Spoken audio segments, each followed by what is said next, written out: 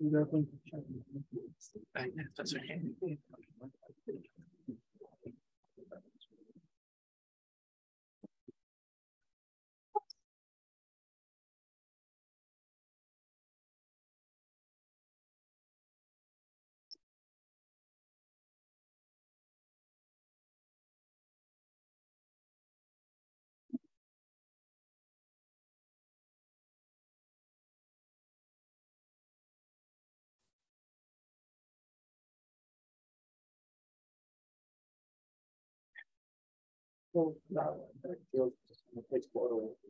Right before the last, before that. Okay, so I maybe.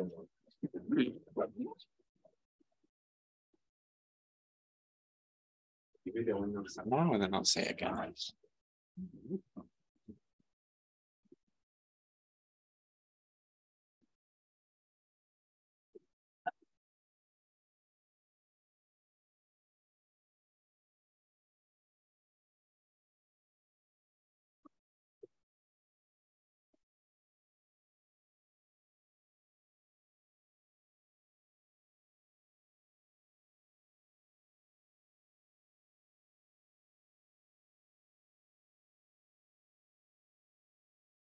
Okay, so welcome back for the start of the second day. So before we begin, just a quick announcement. So there'll be a conference photo uh, right after the talk, just before lunch. So that'll take place at about 12. So just stick around. Um, at the end of that talk, I'll announce it again closer. Um, so first talk today, delighted to have Oren uh, Ben-Bassat, and he'll be talking about Banach algorithm. Thanks very much. Thank you uh, to Minhyong and all the organizers for such an exciting conference and such a nice uh, community of mathematicians. Uh, it's very inspiring. So um, I titled my talk uh, Algebraic Geometry.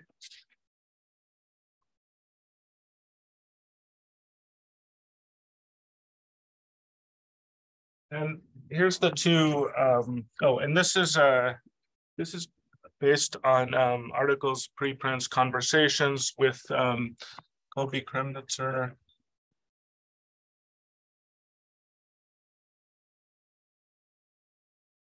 uh, Jack Kelly, who's actually speaking after me, and and others.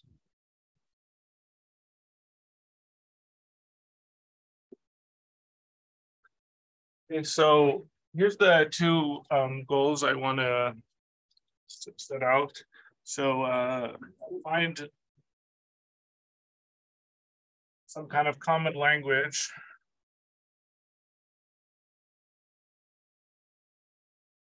for many different kinds of geometry.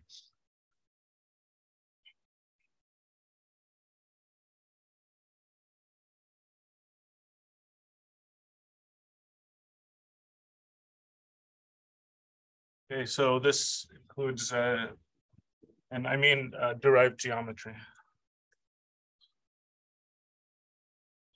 So this includes things like uh, algebraic geometry, uh, complex analytic geometry,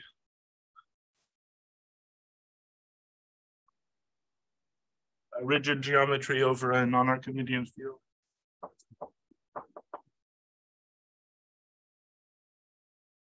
And um, things like differential geometry as well.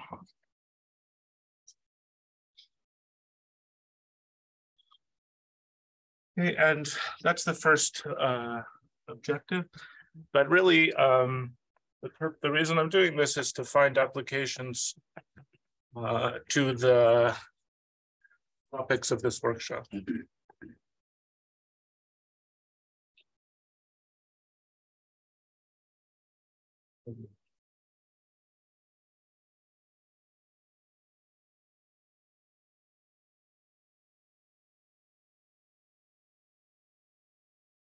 So I think this kind of point of view applies to all the topics of the workshop eventually. Uh, those are gauge, gauge fields in arithmetic, topology, and physics, but I'm going to focus on something uh, that I think uh, indicates that there's applications to uh, arithmetic geometry.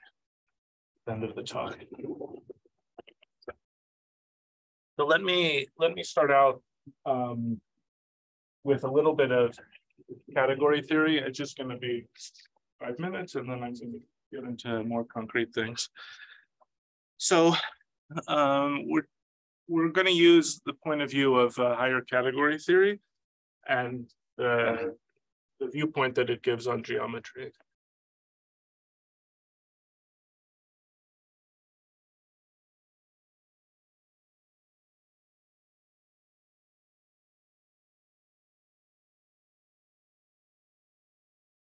So this, this includes uh, work of Toën Vezzosi.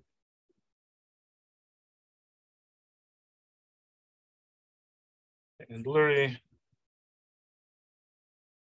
And there's different, different uh, points of view from the higher category viewpoint. Uh, I'm gonna just uh, mention something from an article of uh, Raksit. And he kind of draws on both of these to some extent.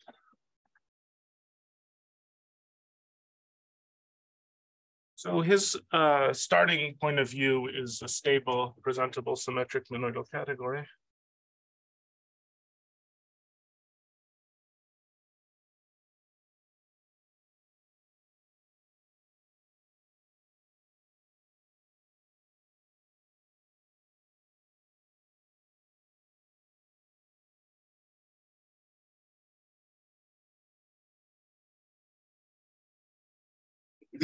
And the, the one you should have in mind, first of all, is just uh, chain complexes of abelian groups.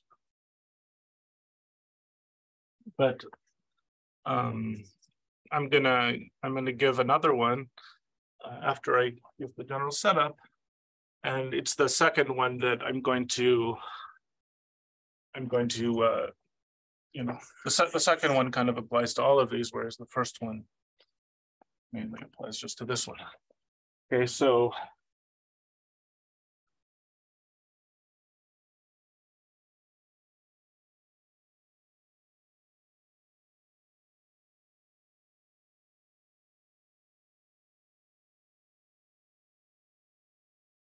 I'm not going to write out the general definition, it's rather long, but first of all, uh, the C is equipped with a T structure.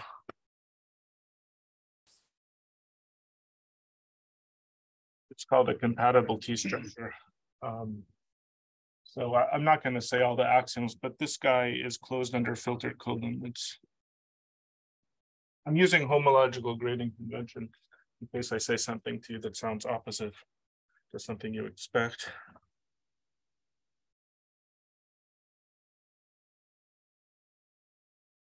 The, the unit object of C um, should lie in C greater than equal to zero. And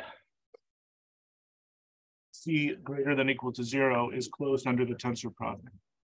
So let me, let me write the tensor product for the monoidal structure just like this. And it, this guy is closed.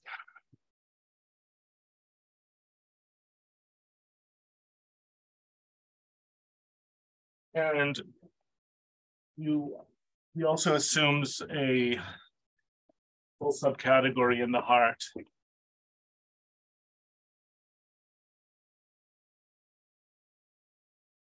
So the heart is the intersection of these guys. And it's a, it's an abelian category. And he's going to assume a full uh, symmetric monoidal subcategory of, of uh, which are whose objects are compact projective generator.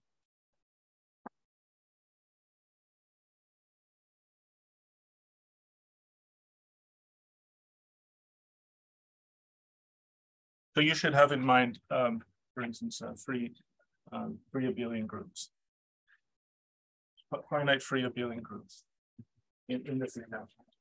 But I'm going to give them a new example.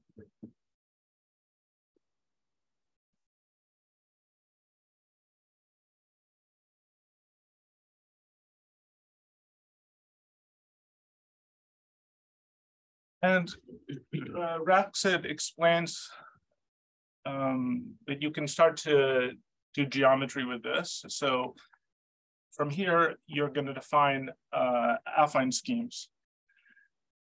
And there's actually two, two definitions that are not always the same.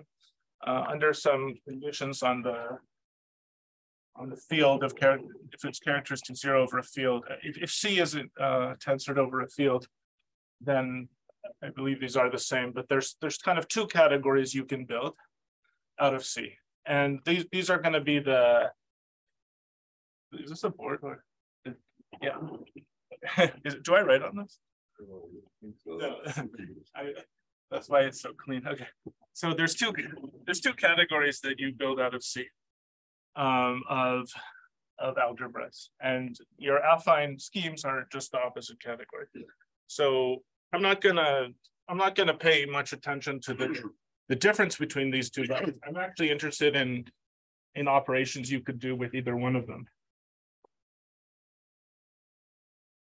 So let me not um let me not make a let me not distinguish too much which one I'm talking about. They, they are different.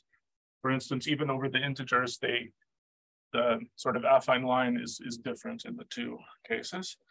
The affine line is Sym of the of the unit. Okay, so but I'm, I'm not going to distinguish right now. So uh, let's let affine C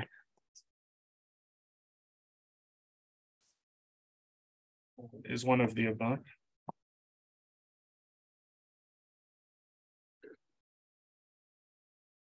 Is the opposite category of one of the above.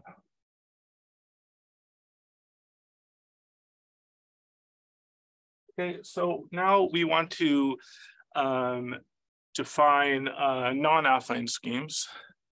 And um,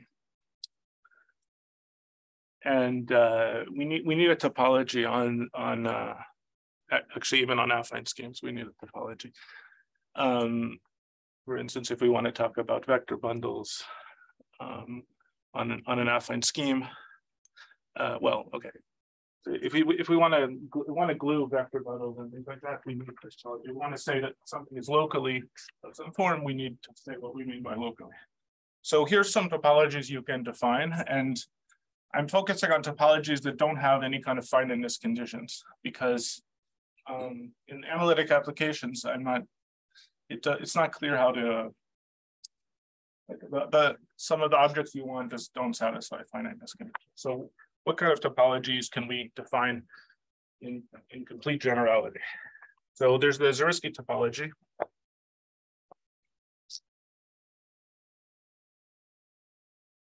Let's make a list of some topologies. And later, I'm going to go down my list and see, see, uh, see which one I want in, in different situations. Okay, so here for the Zariski topology, you just, um, to, to give a cover,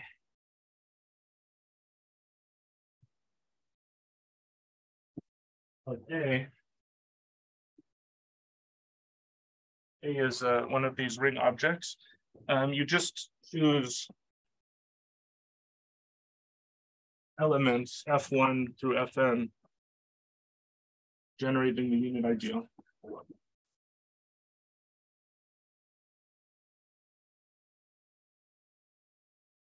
Okay, and then uh, on the on the on the algebraic level, your cover is just A goes to the product of F1 to Fn in terms of affine schemes, this is like a disjoint union. Mapping down to the the scheme uh, represented by a. Okay, um, another, let me make a definition before I give the next topology. This abstract setting, can you actually choose elements? Um, you can choose elements in uh, pi zero, for instance. There's uh, there is something more to say though, to make this.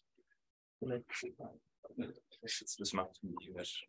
Yeah, yeah, so, so, uh. You can, you can take maps from the unit into.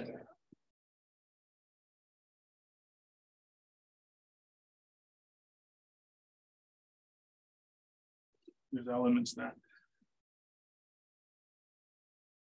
Okay, so let me make a definition before I define the next topology. So A goes to B is flat. I think this goes back to Lurie, this definition, faithfully flat. Oh, I should say one thing. Um, I'm interested, uh, for, in derived geometry, you consider connective objects in these guys. So you, you consider, so connective objects. But I'm actually interested in topologies that, that work in the connective or non-connective setting. Although usually you, you take your affine schemes to be connective objects. Sometimes it's interesting to, to look at non-connective affine schemes.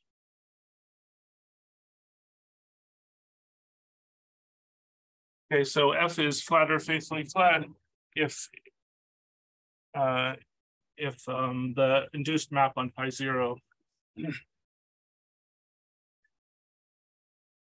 is flat or faithfully flat.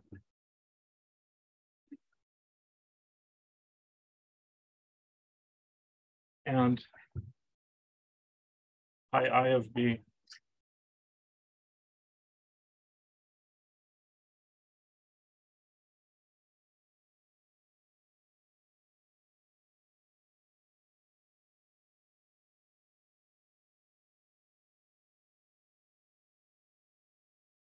Okay, so um.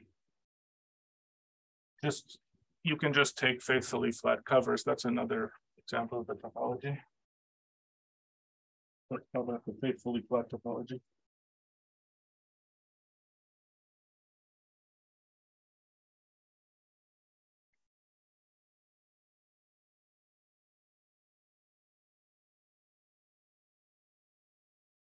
It's equivalent. Uh, answering is exact. Uh, in the connective setting. I'm not sure about in general. Yeah. So the next example is. Is the one that I think is less uh, less in the literature, but I think it's very important, so um. Covers, uh, so definition, uh. Covers so th- th- this was kind of um mentioned by Toën Vezzosi, but it was never. It was never sort of used in its full power. Um. Covers in the monomorphism topology.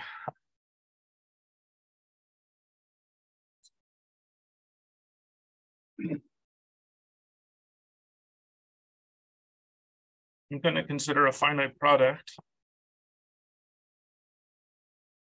Let's just call this B. So, so such that.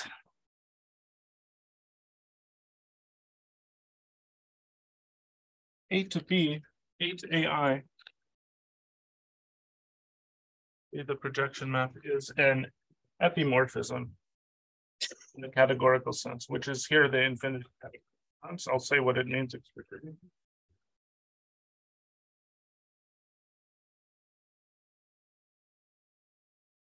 means that um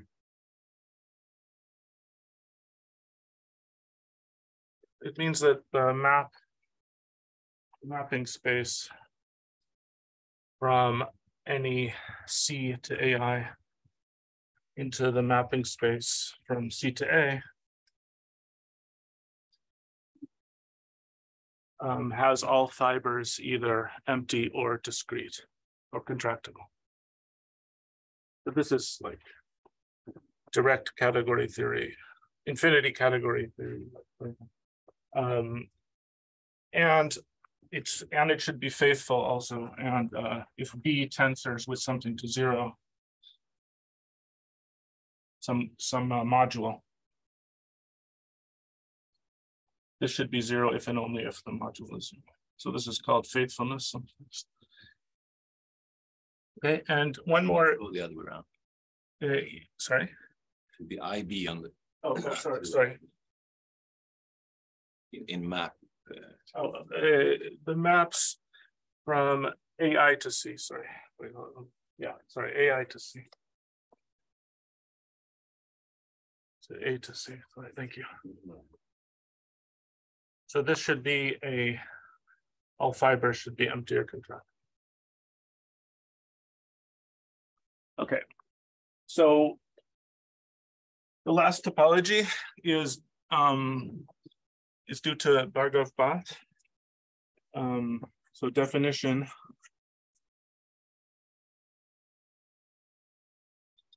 So A to B is a weakly étale.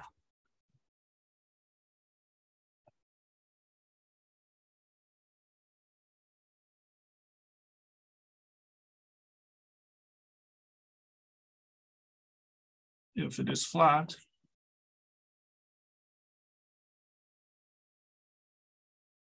And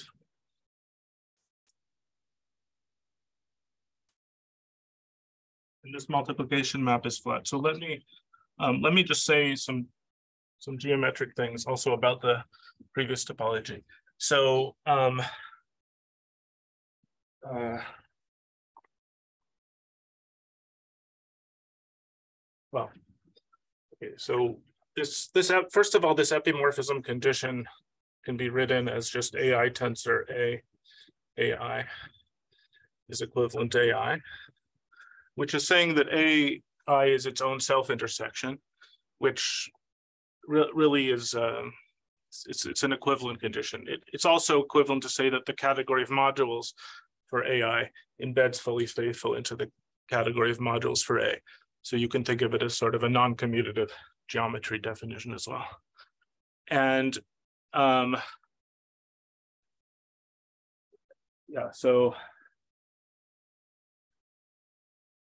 Right, and, and this, this definition is saying that uh, the map on schemes is, is flat and the map um, uh, into the diagonal, the, the diagonal map is also flat.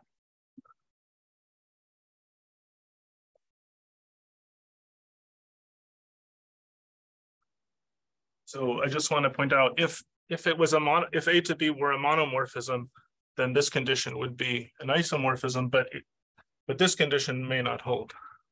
So monomorphism does not imply that this is flat. There's two, there's two conditions here.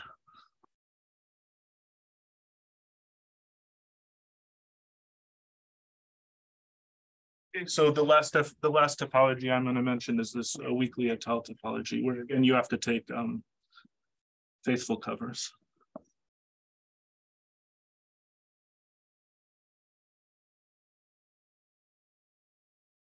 Okay, and so let me um, let me sketch the relationship between these topologies really quick. Any questions? So I'll just make a diagram summarizing some relations. So I, am not going to go through the actual étale topology. There's there is also a definition of that, which is going to appear in the preprints with uh, me, Jack, and Kobi. Um, I'll, I'll, just say it in words. So, um, um, an étale morphism is just going to be one satisfying the determinant condition. So, the, in particular, it's a finite. You know, we're talking about fi the finite topology. So here's a Here's a sketch of the relationship. So we have uh, Zariski covers. This is kind of the, you know, the least, there's the least of this type of cover, the mono covers.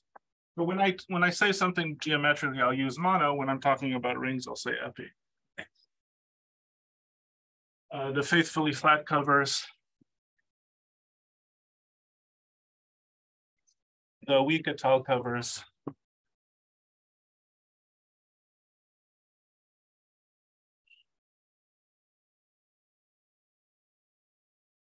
The étale covers. And then well, we found it kind of disturbing because see in algebraic geometry, a Zariski open is étale. But instead of Zariski opens, we're going to replace, I mean, we're going to prefer to look at these monomorphisms. So we found it kind of weird that nothing, you know, we wanted to be able to compare these somehow. So I'll write to be announced. This is also a topology that we're going to talk about and prove that it's it satisfies descent and things like that. Okay, so as I said, um, all of these covers do do make sense in, in just algebraic geometry. So when C is mod Z, these are all reasonable things to consider, even though they don't have uh, finiteness conditions on them. Oops, this is also uh, here. But um, let me now give some motivation for the next uh, example of a C that I want to consider. So uh, when you study analytic or smooth geometry, the first thing you can notice is that the rings you're dealing with are huge. They're non-Noetherian, not finitely presented, etc. Um, so there's kind of two uh, broad ways to deal with that. One is to add extra algebraic structure, uh, which I think sometimes people call functional calculus or Lawvere theories. Uh, the second way is to add extra analytic structure to the rings. So for instance, Frechet, uh, dual Frechet, etc.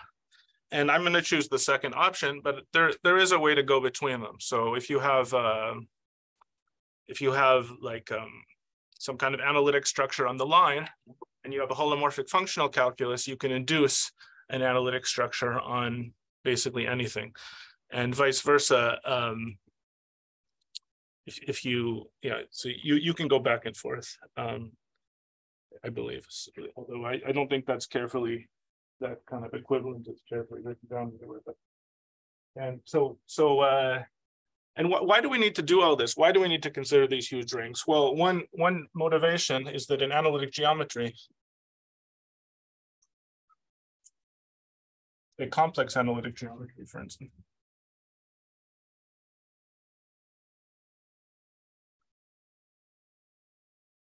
you know, the holomorphic functions on x plus y are definitely not the tensor product, but they're the completed tensor product. Like even on even on C cross C, you know, you can you can easily write down a function for something like you know e to the zw that that is not in the algebraic tensor product, but rather in the completed tensor product. And in order to even define completed tensor product, we need extra um, structure on these rings.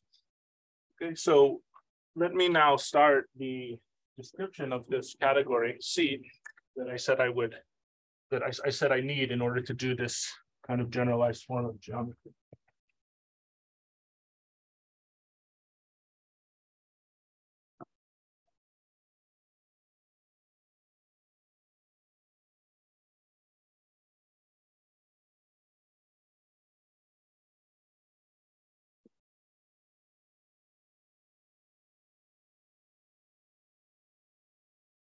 So the starting point is going to be to fix a Banach ring, so not necessarily a field.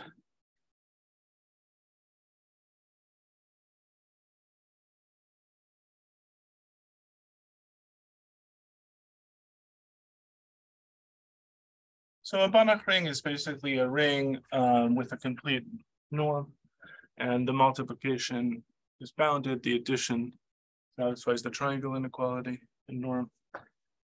Um, so here's our my favorite example. So and we're going to call it R. So favorite examples.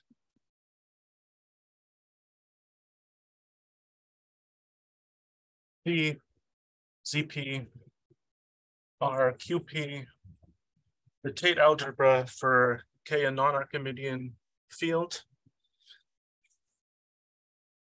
or C double bracket T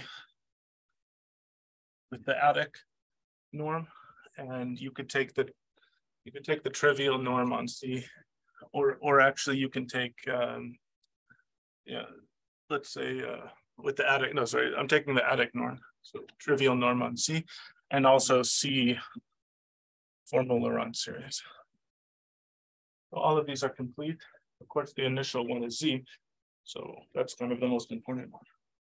Um, and now we're going to consider the category Ban R. So let me make the steps. So Ban R. These are just, uh, you know, they, they have a norm satisfying the triangle inequality. It's compatible with R and they're complete. And this is a very nice category, except it's it's terrible because it's not closed under limits and co-limit. Okay. But other than that, it's great. And for instance, the co-kernel, the categorical co-kernel, you should keep in mind that the co-kernel of V the W is not the quotient as as modules, but rather you have to quotient by the closure of the set theoretic image.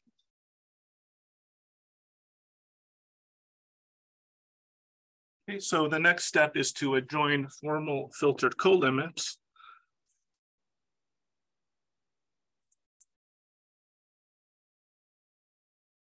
Okay, and um, I'll just, what I'll do is I'm going to define for you the monoidal structure and the internal Hom. So this is a closed symmetric monoidal quasi-abelian category. Let, us not go into the definition of quasi-abelian, but it's very similar to an abelian category. So let's denote objects, say by V and W. So if V is kind of a formal filtered colimit over some filtered category. Or you, can deal with posets, it's enough, partially ordered sets. And say another object so no, nobody tells me that it's the same category, but um, you can always form one to, you know, form one in which they can be compared. In which that, you know, you, so, so there's many different ways of writing every object. This is by no means like unique. Okay, and the tensor works just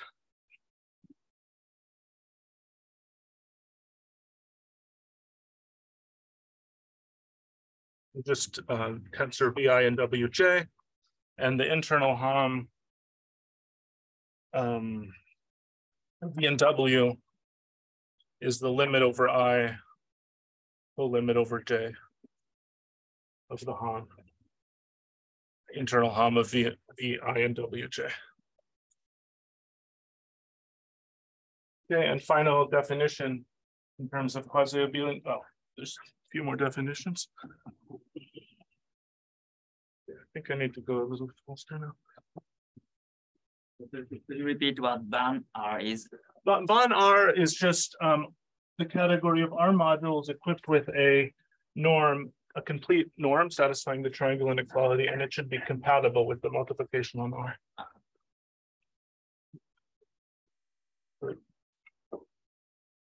Um, so E to W is called strict.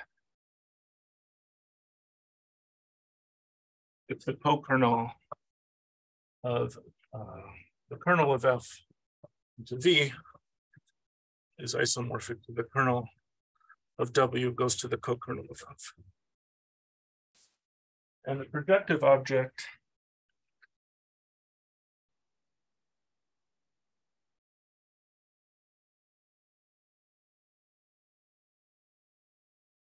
in Indban.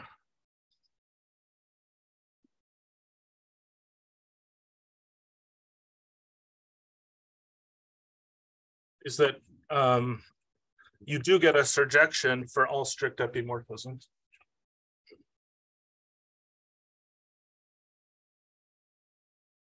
And a flat object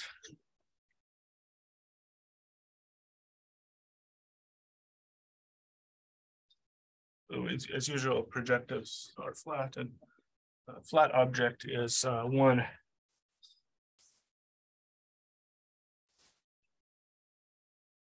Such that um, F tensor V F tensor W is a, is a strict mono for all strict monos. So strict just means strict mono just means strict and categorically mono. And something that uh yeah. Uh, where's the co-limit happening in? Like the colimit is is uh, formal, so it's happening in the category of pre-sheaves on on Ban. Pre-sheaves of abelian groups or, or sets uh, on on Ban R. So functors from the opposite category. With the underlying ring, the co-limit's happening in like ring. So, so you can form an underlying uh, module out of this. by passing to the co-limit in the category of modules. You, you can form that. Okay, so just one thing for Jack's talk. There's another, sometimes it's nice to work with a subcategory of Indban. It's called C-born. And it's just those objects that are represented by systems of monomorph. Why is it called born? Because if R is, say, uh, complex numbers or ZP or some nice enough ring, you get a category equivalent to certain types of bornological vector spaces, which is something old from functional analysis. It's basically a vector space together with this notion of bounded set satisfying certain axioms. So just like a topological space has a certain collection of subsets, so the bornological space has a certain collection of subsets. So there's a the C-born has has another meaning, but that's only over nice enough uh, rings. Okay, so now I'm ready to define the category that um, I'm, I'm gonna work, we can work with.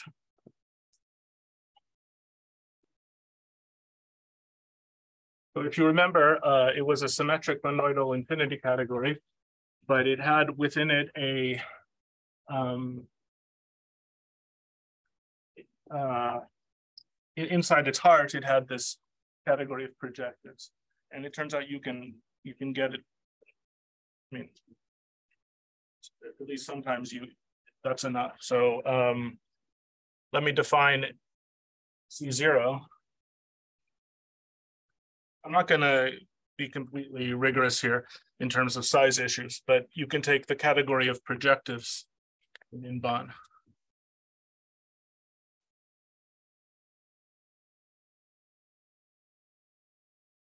I mean, in reality, you need to uh. To look at certain projectives, but. uh, This is, you're supposed to, you're supposed to be compact. Um, Same as taking projectives in Ban. yeah, sorry, in, in- yeah, take C zero to be uh the category projectives in Ban. Not in it, know. Now you take C zero to ta- to be the sifted co-completion, which is sometimes called P sigma.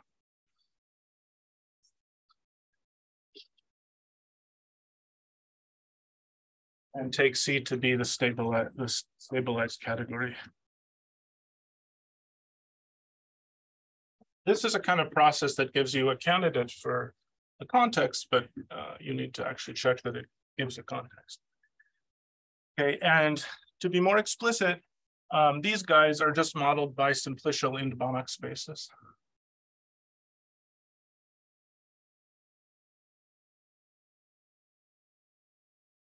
All right, S Indban.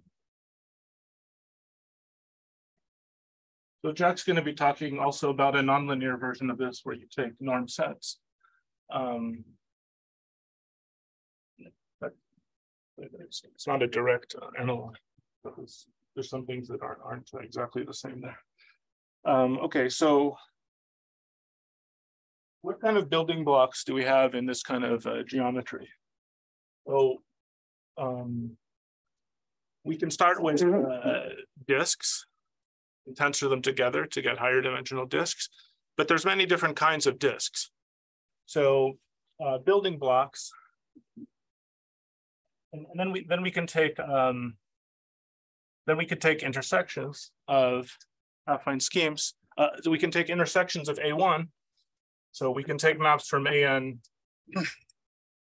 take the fiber over zero to get more uh, interesting um, uh, objects, but still the basic building blocks. Well, you have the polynomial guy. It's not a Banach space. It's an Banach space. You have um, this disk algebra, which is sort of similar to the Tate algebra, but it's a kind of non-Archimedean version. So I'll just I'll just remark that these are formal power series where the sum of the AI R to the I is less than infinity. But you can still define this for any R. Um, you have, um, what else? Uh, so there's many different uh, guys you, you, have here. So um, um, oh, you have this guy. You have an overconvergent version. Um,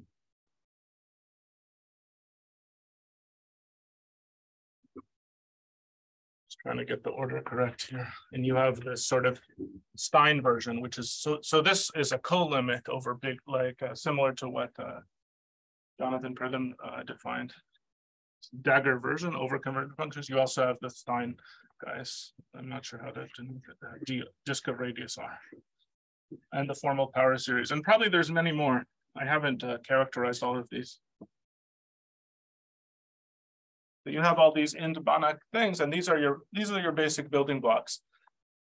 You can just uh, similar to the way that you can build algebraic geometry out of A1s, you can build different flavors of analytic geometry out of these building blocks. So um, I should also remark that the,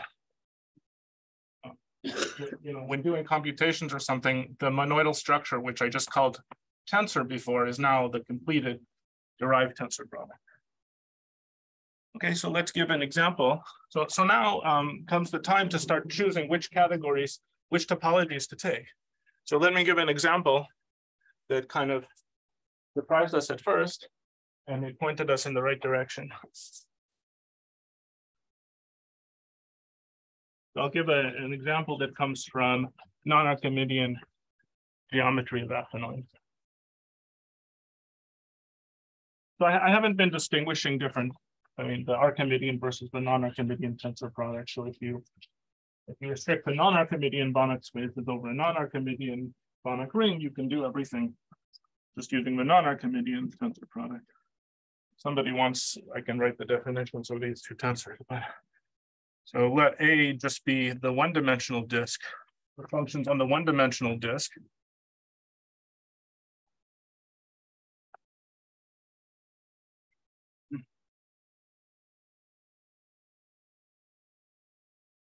I'll take a disk of radius one third inside of it. And I'll take an annulus of inner radius half, outer radius half.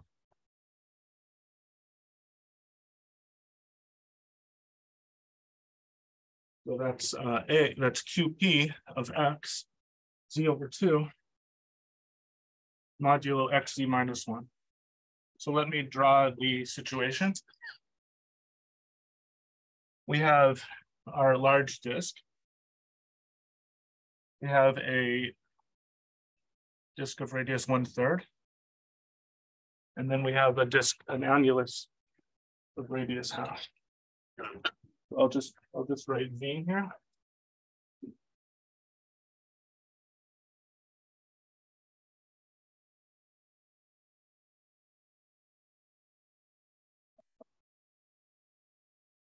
So the surprising thing is that uh, A, AV is not flat over A.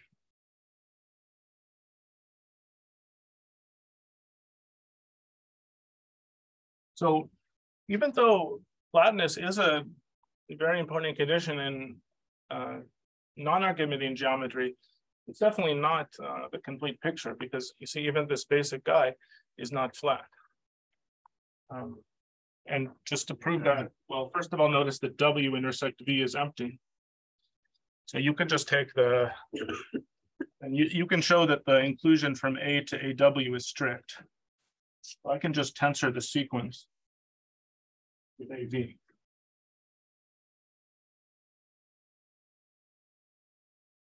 If I tensor or the, the, the actual result, um, be careful if I take the non-Archimedean completed tensor even derived over A of A uh, V.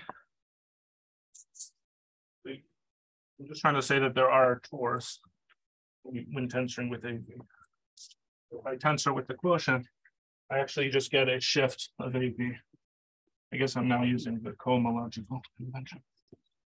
So basically, when you tensor with AV, you get AV goes to zero. So when a strict uh, mono is no longer a strict mono. Okay, so So we, we consider the monomorphism topology.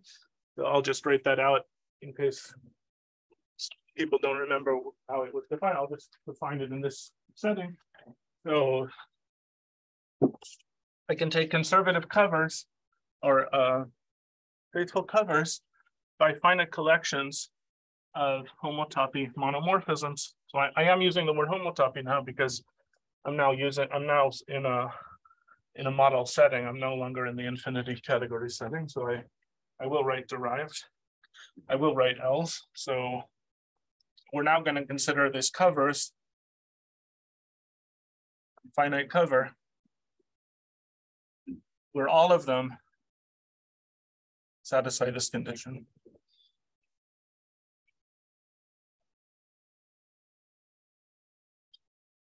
Okay, so a result uh, with myself and Kremnizer from 2013. So this, this definition fully reconstructs the rigid topology on affinoids.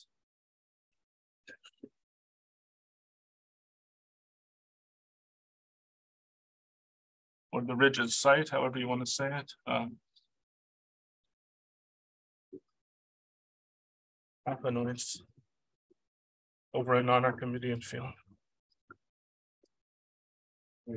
What is the condition? The- What is, what's the finite? Oh, so a finite number of finite alphas, and then the, uh, I didn't write down the conservativity condition, so they should be surjective in some sense. so The Uh, key thing is this here. Yeah.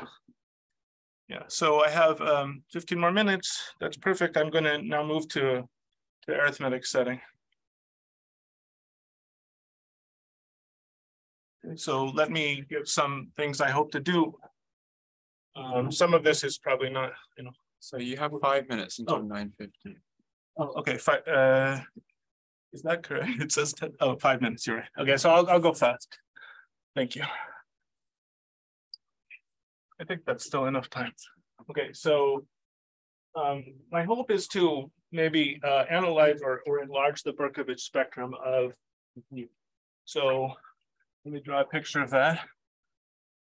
The points represent fields. Q triv means Q with the trivial valuation. Uh, this is F two. F three, etc. Q two. Q three, etc. And you can also take line segments. So for instance, the segment from here to here is Z two. Etc. The segment from here to here is the completion of Q.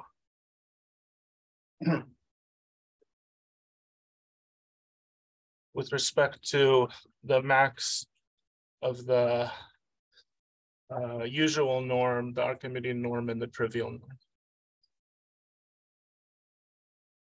Okay, so I'd like to find uh, interesting covers by homotopy monos.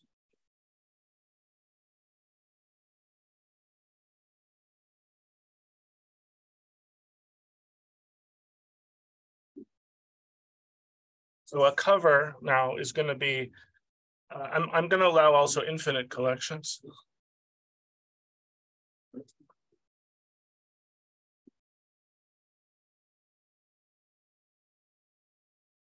Such that when you tensor these guys over with themselves, you get themselves. Our alphas should be Ind Banach rings. They don't have to be Banach rings. Okay, and one uh, somewhat conjectural property of these um, of the functions is this kind of duality that I've been looking at. So. all right, question mark, because I've only checked it in some cases, but uh. Let's say you take a subspace of M of Z.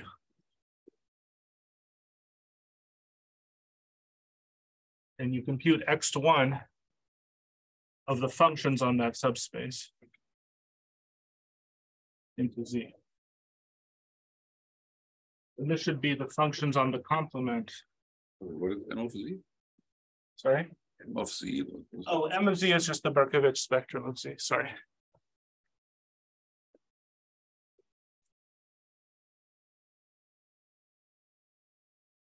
So the functions you associate to the complement modulo z. So this is kind of related to Pontryagin duality, but let me just uh, let me just end by giving two examples of covers. So the first example, well, you have z, the zp dagger, which I'm just going to define as z of px dagger, the overconvergent functions on the disk of radius 1 over p module x minus p. And z another uh, Ind Banach ring, which is defined as the limit over r less than p, z y over r dagger, actually without the dagger, module py minus 1 so geometrically, what this cover does is it takes takes one of these guys and it just takes this part of it. And then it just takes everything else. So my, the two open sets are these two. And for the other cover, it's going to be infinite and it's resembles, it's related to the integral adeles, I believe.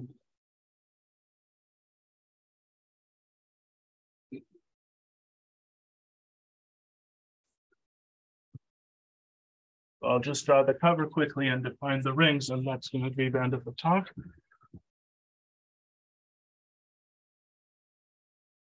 So in this cover, we're going to have sort of an overconvergent guy. It's, because it's overconvergent, I guess I'll make this extra big here. Um, and then all of the open line segments.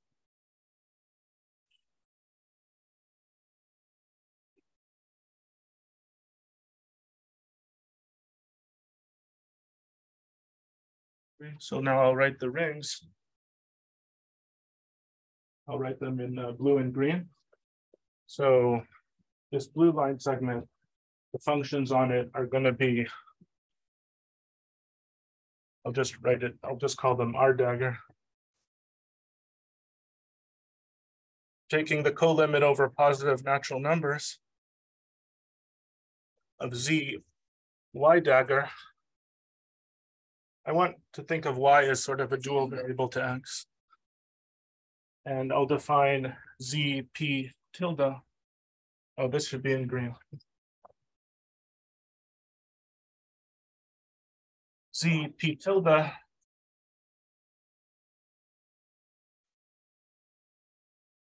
So there's a kind of dual Fréchet slash Fréchet thing going. Oh, this is yellow.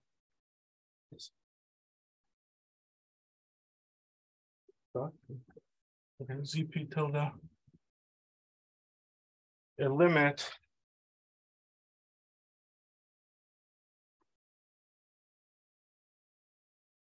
Over R less than one.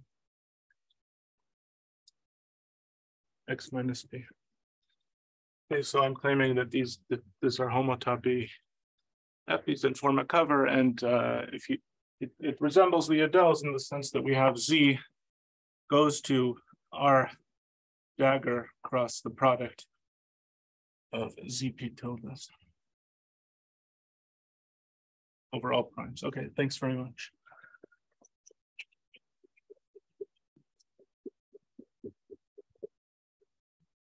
Okay, thank you for the talk. Questions for Oren?